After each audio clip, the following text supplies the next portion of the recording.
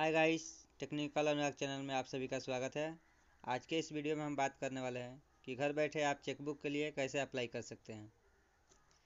तो बहुत सरल इसका प्रोसेस है, आप इसको फॉलो करेंगे तो आप घर बैठे चेकबुक के लिए रिक्वेस्ट कर सकते हैं। तो चलिए वीडियो स्टार्ट करते हैं।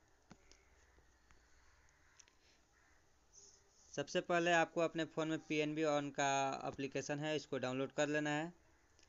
इस एप्लीकेशन का लिंक हमारे वीडियो के डिस्क्रिप्शन बॉक्स में मिल जाएगा, आप वहाँ से इस एप्लीकेशन को डाउनलोड कर सकते हैं और इसको लॉगिन कर सकते हैं। लॉगिन करने के बाद आपको यहाँ पे सारा चीज़ दिख जाएगा, आप यहाँ से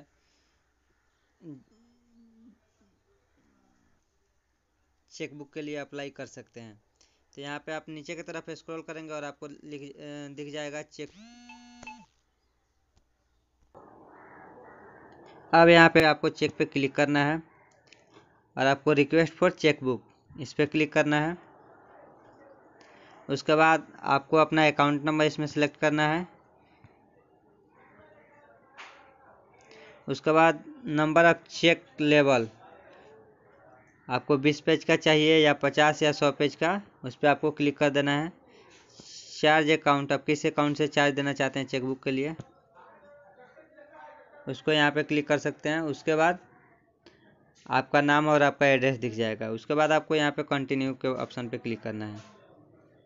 जैसे कंटिन्यू के ऑप्शन पे क्लिक करेंगे तो आपको यहाँ पे एक ट्रांजेक्शन पासवर्ड मांगेगा। तो आप जब ये ऐप लॉगिन करेंगे तो इसमें आपको सारा चीज़ फॉलो करना होता है। पी एन वन का। तो इसमें आपको लॉगिन पासवर्ड ट्रांजेक्शन पासवर्ड सारा कुछ बनाना होता है। अगर इसकी वीडियो चाहिए तो आप हमें कमेंट बॉक्स में कमेंट कीजिए। उसका लिंक हम आपको वीडियो के कमेंट बॉक्स में डाल देंगे, आप वहाँ से उस वीडियो को देख सकते हैं।